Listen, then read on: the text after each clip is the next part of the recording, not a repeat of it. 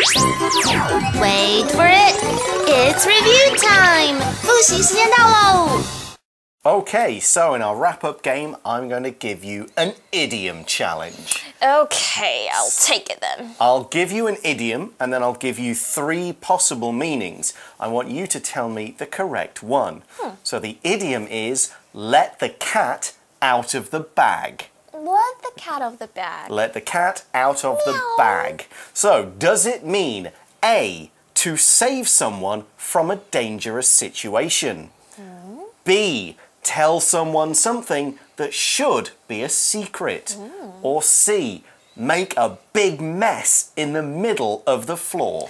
Hmm, let me see. When you let the cat out of the bag, it sounds like you have hidden the cat in the bag and then you mm-hmm. reveal it. Yes. So I think it's B to tell someone something that should be a secret. That is absolutely correct. Mm. To let the cat out of the bag means reveal something you shouldn't really say. You go, oh, I've just let the cat out of the bag. I've spilled the beans. Oh, Another yeah. w- mm. means exactly the same. I've told someone a secret.